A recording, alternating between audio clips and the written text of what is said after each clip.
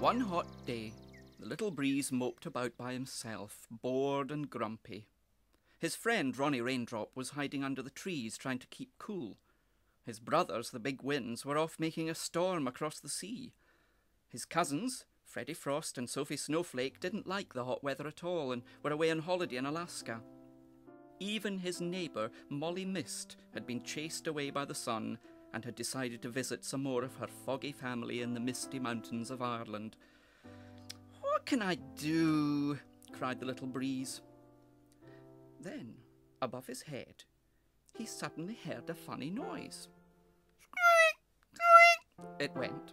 Squeak! Squeak! The little breeze looked up. There was no one there, only the roof of a house with tall chimneys. But that day, not even they had anything to do because no one lights fires on hot days. The little breeze was puzzled. The noise came again. Squeak! Squeak! Squeak! Squeak! But now the sound was louder. And suddenly, the little breeze realized that the squeaking was coming from the weather vane on the very top of the roof. And up he went to have a look. Hello, Mr. Weather Vane, he said cheerily, pleased to have someone to talk to. The weather vane looked very huffy. My name is actually Coco the Cockerel, he declared loftily. And what, may I ask, are you cockerel doing up here? I'm the only one allowed on this roof, you know. I heard some squeaking, Little Breeze told him, and um, I just came up to find out what it was.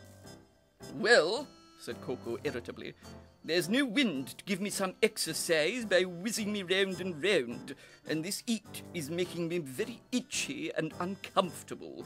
So if you heard squeaking, it was only me complaining to myself and wishing the sun would go away and the wind would come back to keep me happy. The little breeze was very sympathetic. Oh dear, I'm afraid I'm not a very big wind yet, and I can't blow very hard, but maybe I could try to help you. Pooh! scoffed Coco the Cockerel. What could a little thing like you, Cockerel, do? I need lots of wind to turn me round. Well, at least let me try, begged the little breeze, and I promise I'll blow very hard. So the little breeze gathered all his strength, swirled across the roof as fast as he could, and blew and blew till he hadn't a whisper of breath left. Not a thing happened. Coco the cockerel was motionless. See, I told you you wouldn't be able to cock do it, Coco shouted at the downcast little breeze. You're far too small and he began squeaking again very crossly. Squeak! Squeak! Squeak! The little breeze sank to the ground, very humiliated. But just then, he saw a cloud beginning to move across the sky. Pushing it gently along for practice was one of his big brothers, newly returned from making a hurricane in America. Hey, Walter Wind! shouted the little breeze as loudly as he could. Can you give me a hand, please? With one huge whoosh, Walter Wind zoomed down to join his little brother, nearly blowing him over a wall as he did so. Sorry about that, breezed Walter. I don't know my own strength sometimes. Now then, young Philip, what can I do for you? Well, gasped the little breeze, still trying to get his breath back. Coco the cockerel up there needs some wind to whiz him round. He says I can't blow hard enough. Could you help me? of course I can, assured the friendly Big Wind. Let's do it together and we'll soon show 'em how strong you are. So up they went to the roof, the little breeze hanging on to Walter Wind as tightly as he could. And with one enormous rush, they flew towards the weather vane.